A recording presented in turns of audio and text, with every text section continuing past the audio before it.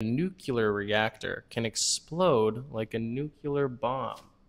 Sergio. Okay, plutonium, that's what you need in nuclear bombs, uh, not uranium. Uh, uranium by itself, uh, obviously, it's uh, used for the process of creating the energy, the fusion, the collision, the heat, all of that. That is the nuclear process, right? None of that in itself uh, can explode, right? For uranium uh, to become plutonium, it needs to get enriched. It has to go through a very complex enriching process of, I believe it has to be enriched 20% plus for it to become plutonium, in which event then it is used for nuclear bombs.